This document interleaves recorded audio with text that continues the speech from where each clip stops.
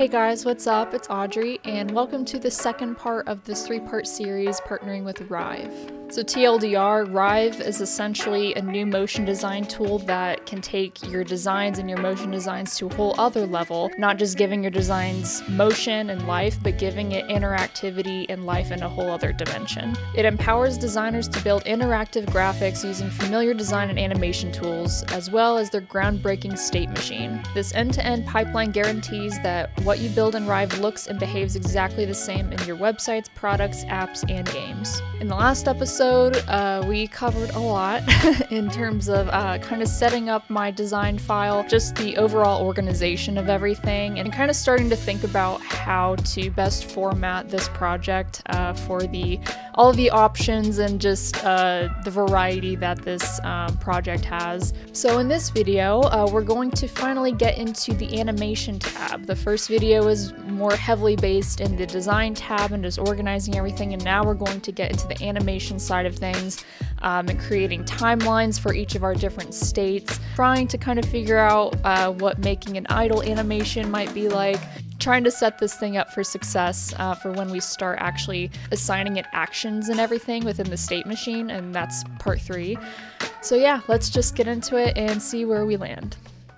So, real quick before we get into the bone stuff, wanted to kind of share this other uh, Rive file that I think is super helpful for what I'm kind of going for here and understanding just when it comes to the different outfits that impacting the like idle repeating loop, the walk cycle. Again, looking at the left here with these different um, skins, um, we're going to kind of take note of that and apply that with our own. Um, so they have like a skin zero for when there's nothing, um, but we probably won't do that because I don't want them to be naked necessarily. I think down here below, we're going to make our own like idle stance. Um, so that'll kind of be like our base rig there, but that's just part of the timeline. But if we go to just the design side of things here, so we've got our root group, we've got the character, got the skins here, and then we have these like control uh, layers here. When I'm looking at files like this, I'm really clicking on literally everything and then trying to look on this like right side here to see what settings are changing and what is connected to what. So we can see with this body rig here and how it's like kind of the parent group of everything and then as it gets deeper and deeper, it starts to get more specific. And under a lot of these uh, bones or joints, you can also add in your artwork. So the head here, this is just like a path, because um, again, in Rive, you can literally design from the ground up within Rive. Um, you can also copy and paste things from Figma or Illustrator if you want to go more vector based, but um, Rive is more um, vector based as well, so you could literally design this in Rive if you wanted to. Taking note of like there's a bone group here, and I can put my artwork under that, so it essentially parents it to that bone here or the joint. So again, just taking note of that we're going to make uh, a rig.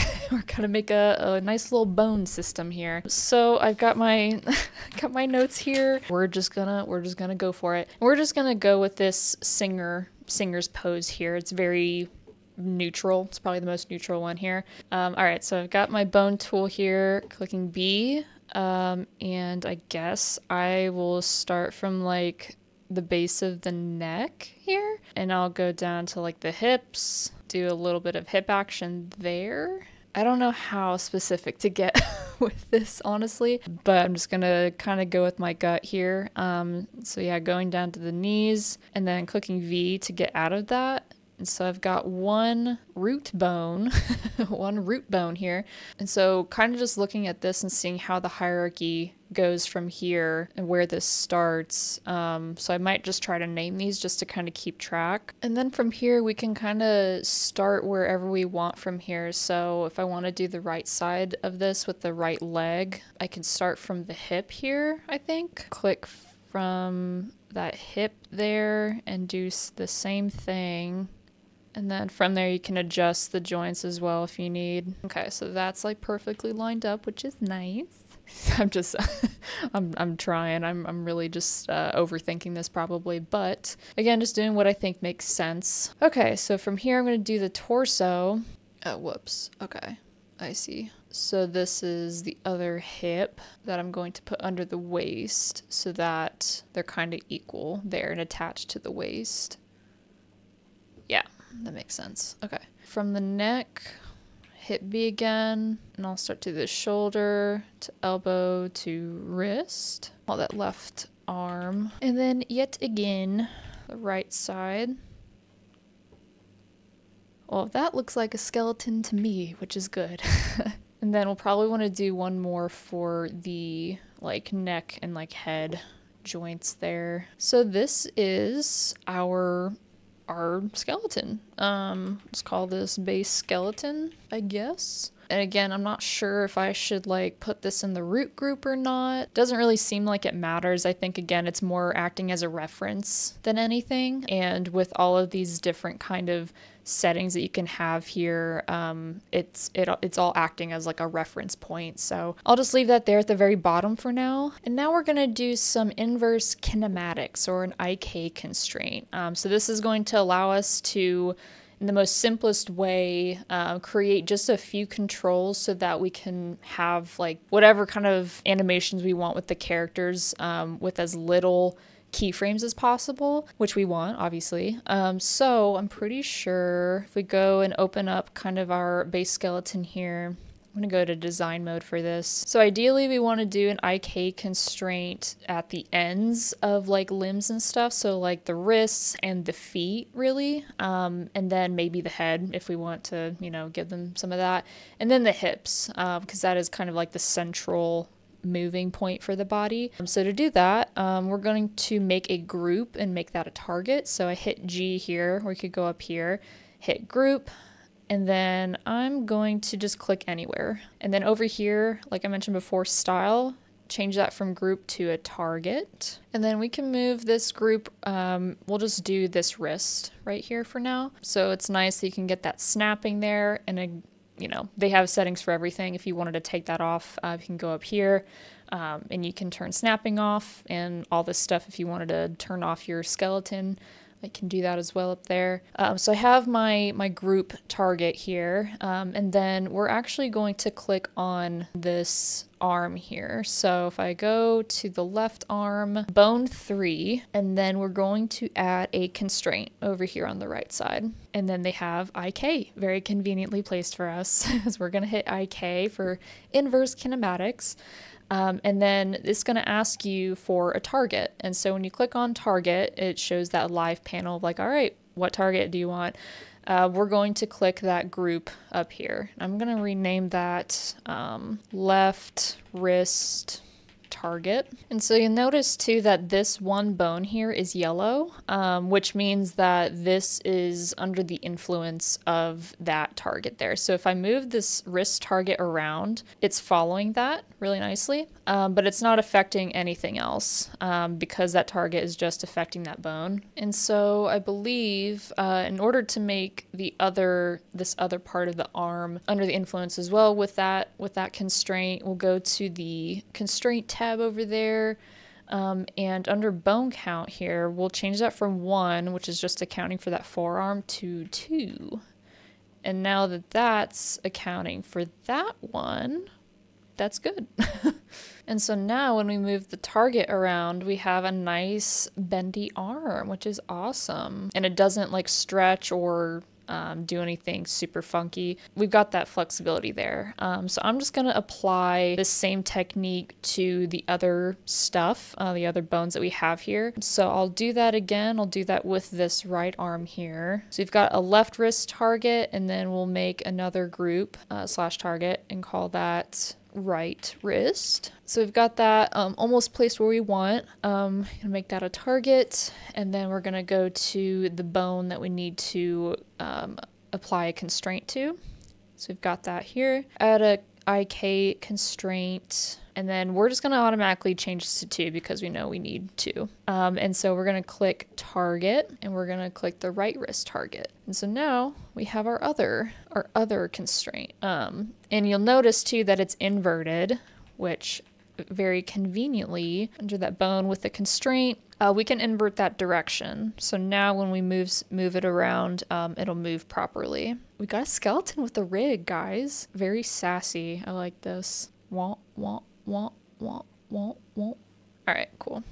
So, real quick, um, before we start kind of doing this to our own project, I wanted to show another uh, community project that I thought was super helpful, specifically for the kind of thing that I'm trying to do. So, what we're going to start doing is in the animation tab over here, um, we're going to start adding in a bunch of different timelines. So, what I mean by that is essentially like going in and essentially kind of toggling each different variation of essentially our character and like the background and stuff like that. Everything that has an option to be changed, uh, we're going to make a separate timeline for that. So all of these skin tones here are different timelines. Um, each of the clothing options are different timelines. And notice how like they're not combined with anything else because essentially that will be combined within the state machine, if that makes sense, if I'm gathering that right.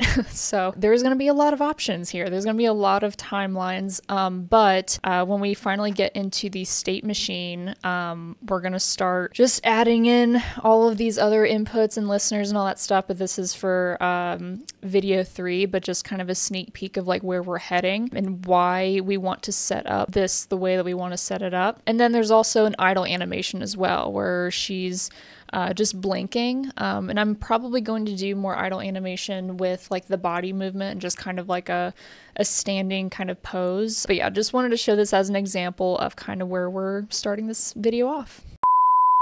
If you like this video so far, feel free to give a like, subscribe, all the YouTubey things, um, and please stay tuned for the next episode, uh, part three out of three of this Rive series. Um, and if you haven't watched uh, the episode before, watch part one. Um, and be sure to check out Rive's channel um, to look at all the foundational 101 course kind of stuff for Rive um, if you want to make your own projects. And especially if you're looking to give your work uh, another level of dimension and life, uh, definitely uh, check out Rive to see what you can do with your own work. Yeah, that's all I got. Back to the video. We're going to finally graduate from design and move into animate mode. Um, I did that by switching um, the tab over here, and I'm pretty sure if you hit tab, um, it actually toggles in between those. So I actually, uh, just to kind of start this off, I actually made a couple timelines here. Don't really have anything in like the instrument timelines yet, uh, but just to kind of set them up. Um, so starting with uh, one of the timelines uh, specifically for the skin tone. Um, so I think what I did here was essentially make a new timeline and then I was able to toggle, like literally just clicking this toggle button here, and then that toggled the the blue leg. And something really cool that I've discovered about uh, solo groups is that if I were to like duplicate this timeline and it had all the legs, the arms, neck, head, anywhere where there was skin tone here, um, because they're in a solo group, you can literally go to this like drop down menu here where there's a keyframe where it says active, and you can just select. You can just select from there rather than having to go through your layers and everything. So I thought that was a really cool little hack. Um, so we're going to kind of explore what that looks like a little deeper here. So just a reminder, so this being a a skin tone timeline, uh, we're just going to be looking through the layers for um, solo groups that literally just have the skin tone. So we don't have to worry about outfits or anything like that right here. Um, so I've got the left leg. Now I'm going to look for the right leg. And so you can see here, if I if I just hit the uh, toggle where it wasn't selected before, I can go in and make sure that that's all blue. Whenever I want to duplicate this, I can just change the um, the drop down here. So I got the left leg, the right leg. Now I'm going to do the arms. And something that's really nice about um, doing this in general is that when you hover over any of your toggled layers um, that you've added a keyframe to, it will highlight in your layers panel where that is in case you need to edit anything or or change something up. Um, so it's super nice uh, to be able to look through and just make sure, um, especially with as complex of a project as this one is, everything that you need to be toggled on is there. And I'm not gonna lie, I forgot how, how many layers I have. Oh my god, so many layers. So we've got like a six armed um, rock star here, super fun. But I think to be more safe than sorry, um, making sure that, again, all of the skin tone pieces that need to be shown for a specific skin tone is part of this timeline. Um, and then I'm just going to duplicate that and then just change all of the colors so I don't have to keep going into my layers here to make sure I have everything. Sweet, so now we have all of our skin tones. So when I click on each timeline, uh, it sifts through each one. So first success so far.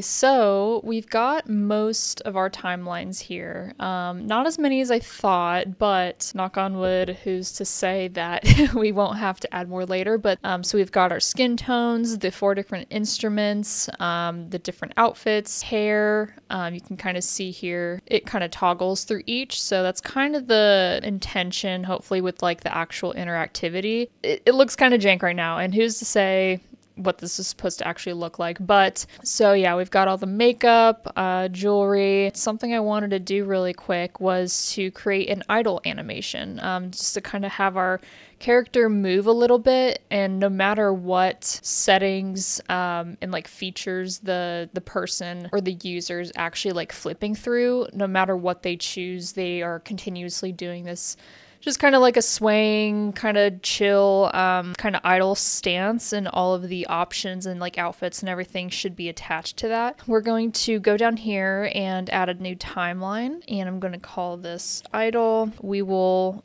go to our targets because that's where we actually do the animation um, of the person since we set up that rig, not the skeleton itself. I'm going to set this timeline to a loop so that it'll continuously loop can do that down here. And I'm going to start with the head up here and just kind of maybe like having them like bob their head a little bit as if there's like music playing in the background and like backstage or something.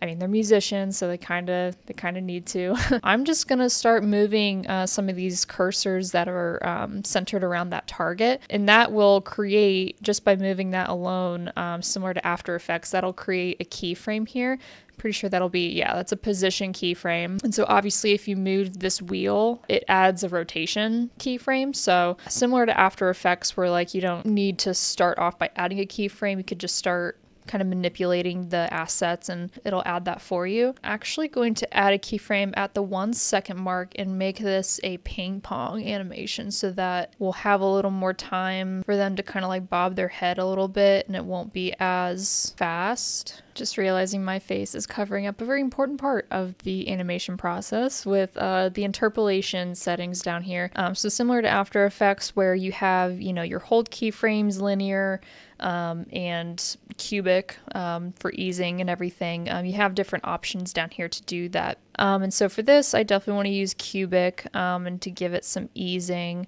um, so it doesn't feel so, you know, robotic. So we've got the head animated a little bit. Maybe we do add the right wrist position here so that whatever arm I guess it affects, we can just we can just add a little just add a little movement. If I'm thinking of this right, the right wrist will affect all of the right wrists, not just this drummer one. So, and I don't think we'll be able to see that really until we get into the state machine because they're all separated. So I think until we get to the state machine is where we're going to actually see if that kind of if that theory kind of works. And then here's the final uh, idle animation that I kind of have going on. Again, it's super simple, um, but just wanted to be able to have something that could work across all poses. So again, I hope this was helpful along with the other videos in this series, um, and especially for those wanting to learn Rive um, and just learning how to kind of take your work to the next level. Again, be sure to check out Rive's website, uh, check out the community projects, uh, kind of just dig around in there and just see what other people have done uh, with the tool and with their own artwork. And if you're interested in learning about Rive and how to use it, definitely look at their YouTube channel. I watched the entire playlist of the Rive 101 series, which is how I got here and doing what I'm doing now. So I think combining those things, um, the Rive 101 and the community tab will help you get to where you need to be to at least start. And be sure to keep an eye out for the third and final part of this series where we get into the state machine and starting to kind of bring home all of the all of the prep work and all of the foundational stuff that we've done for this project and bring it home. Thanks again for watching and I will see you in the next and final video.